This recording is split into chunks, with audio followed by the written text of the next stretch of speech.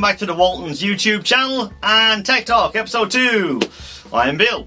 So, the first episode I talked about the Zoom H1 stereo recorder. Um, it's a great little unit and I absolutely love it.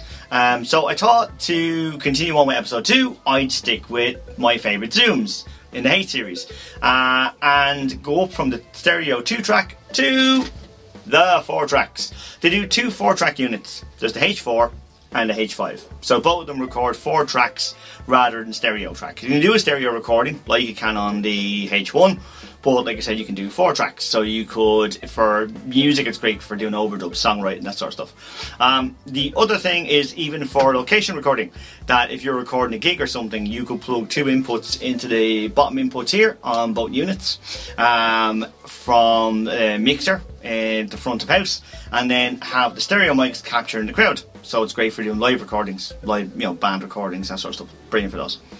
The other things that these are great for is, and what they're used for an awful lot, is film, TV, and that sort of stuff. Because again, you can get a stereo um, recording of the overall scene from both units, just using the microphones on top, and then using the inputs on the back, you can have direct inputs from, say, radio mics or lapel mics or wherever it might be, um, from the actors in the scene or from whatever the main source is or other source mics, close mics. So you have more options. You can record more data um, and information um, using the H4 and H5. Both of these units have built-in effects, and both of these units have built-in limiters and high-pass filters, so they'll cut out the low-end rumble.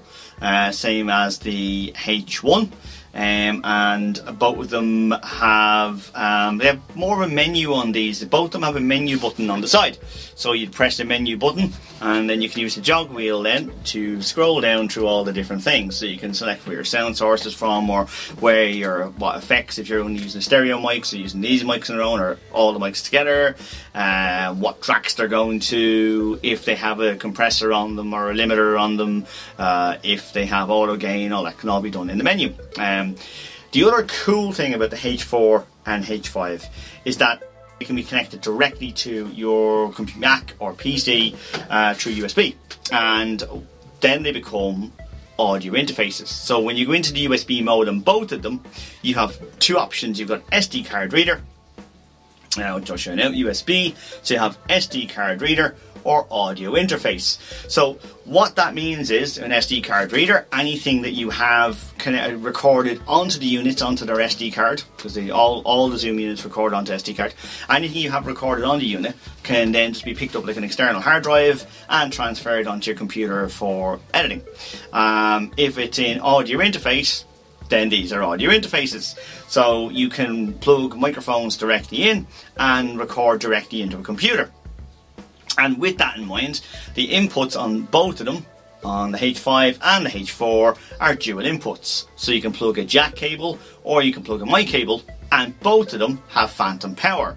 So that means if you're using a studio condenser microphone for vocals, you're using that as an audio interface, what would happen is you can power your condenser mic and therefore da, da, da, record great vocals to it. Um, you can also plug guitars into it and then use guitar amp software, etc., and have amplifiers built into your laptop or desktop, or whatever just going through your H4. The only thing is when you are doing that, I do recommend uh, knocking off. If you're going to use effects in real time, I would knock off the internal monitoring if you're using as those. And if you aren't, if you just want to record through it and have no latency depending on the processor and the computer and all that you're running, well then you want the monitor on. But it's just it's situational, it depends on what you're doing. Um, now the other main difference between the H5 and the H4, I think the H4 is great for uh, musicians and also for people doing like field recording, podcasting, um, and that sort of stuff, you know, uh, film, TV. But I think the H5 is a little more suited to the film and TV thing, and I'll tell you why. The H4, the stereo mics on top are set. That's it. That's the way they are. Okay, they're kind of they're they're stuck on it there.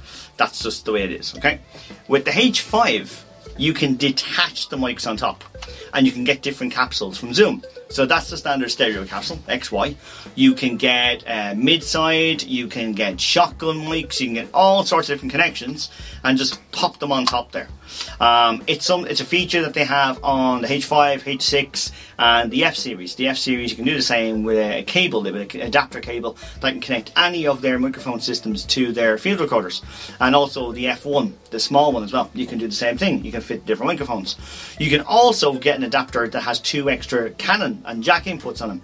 So you can plug in four external microphones and record into separate tracks. The H5 has a more rugged casing and it has this bar protection over the gain pots for your two bottom inputs, where the H4 doesn't.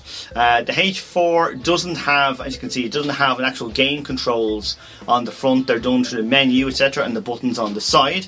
Um, but on the H5, the gain controls are either on the microphone or on the front of the unit. So for a real on-the-fly location recording, that's a great feature. You know, and the fact that it has the bar protecting it and the kind of more rugged case if you're going to drop it, especially when you're out in the field, well, that's going to you know do the trick and um, keep it safe. And then both units, just like the H1, have the adapter on the back. So they can um, be mounted to mic stands and they can also be mounted to um, a hot shoe and on top of a camera. But the one I would recommend if you're going to be mounted to a camera and doing more outdoor work would be the H5 because the H5 like I said, has the switchable mics. So you can put a shotgun mic on there, hot shoe on there, pop on top of my, on top of your digital camera, and hey presto, you're ready to go shooting. Um, so it's really, really, really, really, really good for outdoor. You can use it for anything, any purpose. You can use an audio interface. You can use it for music. But I think this is really, really kind of where it shines. The H5 shines is in field recording. That's where it differs from the H4. So one or two of the features on it I think are more geared toward field recording. Where the H4 um, radio interviews, um, stereo recording, four track recording, just songwriting ideas, that sort of stuff. H4 is perfect. Uh, a lot of people in film and TV have been using the H4 because it's the H4N Pro. Uh, I think it'll be the third or fourth uh, edition of the H4.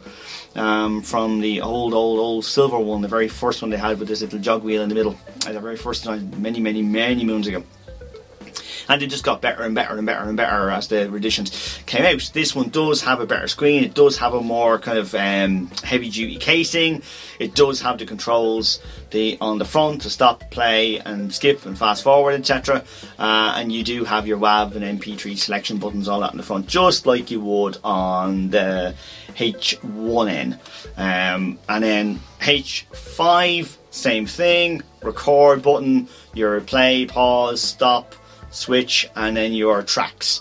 So um, but if you want to select your uh, sample rates and that sort of stuff where you can do or with WAV and MP3 where it's done with a button on the H4 it's done in the menu in the H5 so they do do the same things but like I said this one is more gained uh, more aimed at on, on out in the field need to record something quick. You need control over your gain on your mic inputs and also the fact that you can switch out the microphones really easy and mount it to a camera etc it's brilliant.